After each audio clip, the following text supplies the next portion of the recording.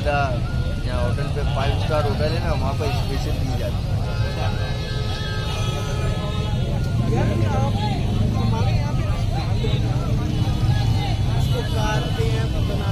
हमारे फैसल भाई बैठे हैं। अदरान भाई फैसलाबाद से आए हुए हैं। मच्छी खाने इन्होंने कभी समंदर नहीं देखा।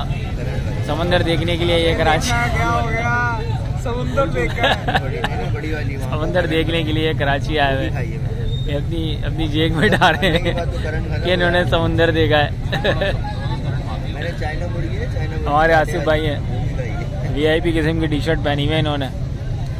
मच्छी खाने आए हुए हैं अभी मच्छी वाले ने इनको सही वीआईपी चूना लगा दिया था। फिसल भाई ने हमारे पकड़ लिया। मछली वाला चूना लगाने आ रहा था।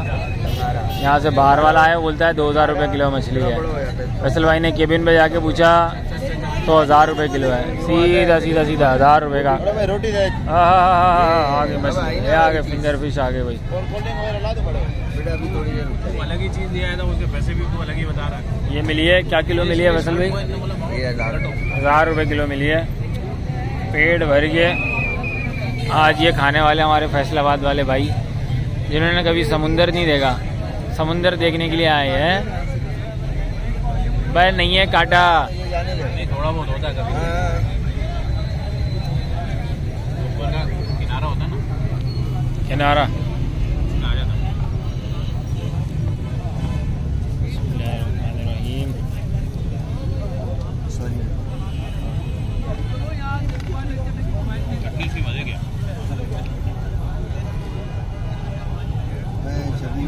बुला रहा है। जायका भी अच्छा है इसका। मार्केट में बुला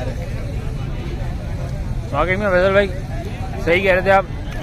बहुत ज़बरदस्त जायका है। अरे बंद करो यार अभी आ जाओ यार। आ जाओ बा आ गया आ गया।